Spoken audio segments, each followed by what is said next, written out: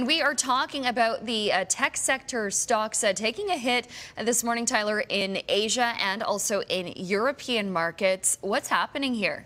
Yeah, well, for the second time in just a week, uh, Apple has been downgraded by analysts, uh, essentially from buy to neutral at this point. The concern is, is that all the enthusiasm that we're hearing about about the upcoming Apple iPhone, expected to re be released in September, well, it's likely already priced into its prices at this point. So why would the stocks go up?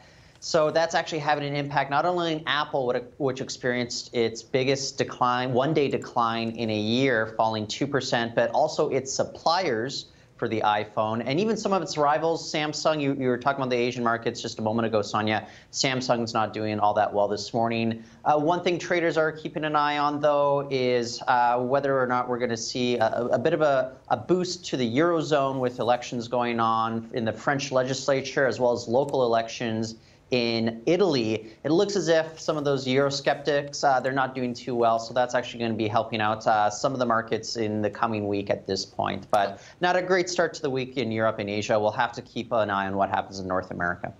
All right. And Tyler, a little closer to home, uh, Ottawa, our federal government has a plan to bring in foreign tech sector workers. But I understand the industry is feeling a little left out of this conversation. What's the plan?